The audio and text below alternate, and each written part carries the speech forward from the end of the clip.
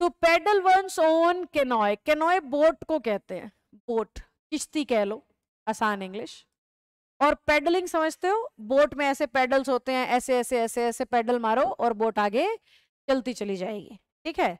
तो ये कह रहा है to paddle one's own canoe अपनी बोट को पेडल खुद करना, यानी अपने काम को खुद करना, यानी खुद पे निर्भर होना, स्वयं पे भरोसा होना कि मैं ये काम को कर लूँगा। मैं इंग्लिश सीख लूँगा, मैं नौकरी लग जाऊँगा, मैं दुनिया की इंग्लिश सुधार दूँगी। मैं, मेरे को ऐसा करना चाहिए। मुझे ऐसा लगता है कि मैं बहुत सिंपल भाषा में समझाती हूँ। एक्सप्लेनेशन जो है वो नॉर्मल दुनिया के देती हूँ तो थोड़ा जल्दी समझ में आता है। तो मुझे ऐसा लगता है कि मैं सिखाने में सक्षम हूँ इंग्लिश, कमज़ोर से कमज़ोर बच्चे को भी। तो ये मैं कह रही हूँ, ये काम मुझे खुद करना होगा। तो पैडल वंस ऑन कैनोए का मतलब स्वयं किसी काम को करना, स्वयं ज़िम्मेदारी लेना कि मैं खुद करूँगा। देखो।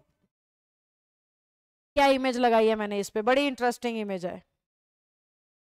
ये इमेज है देखो इस ईडीएम पे ये इमेज मैंने लगा रखी है।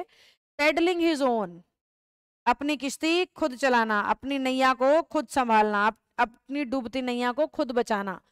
इस नाव के दो टुकड़े हो गए एक टुकड़ा ये है और एक टुकड़ा ये है। ध्यान से देखो इस पे तीन लोग बैठे हैं और इस पे अकेला बैठा है। इन तीन के चेहरे पे डर है डूबने का क्योंकि इसको ये लग रहा है पता नहीं ये पैडल ढंग से करेगा कि नहीं, मैं डूब जाऊँगा। इसको भी यही लग रहा है। पता नहीं ये पैडल ढंग से बीच वाले को भी यही लग रहा है। इन्होंने इनकी गलती से मैं डूब जाऊँगा। ये खुश है बेचारा। जबकि हमें इमेज देख के लग रहा होगा सबसे ज़्यादा संभावना तेरे डूबने की है। हैं? लेकिन फिर भी कितना खुश है। थम्स अप भी दे रहा है, क्योंकि इसको खुद पे भरोसा है। इसने अपना बोझ खुद उठाना है। किसी और पे निर्भरता नहीं है तो इसको पूरा यकीन है हाँ मैं कर दूँगा। हाँ मैं कर दूँगा। मेरे में दम है, मेरे में ताकत है, मैं कर पाऊँगा। तो ये आप इमेज को दिमाग में बिठाना और अब हम ईडीएम पे चलते हैं।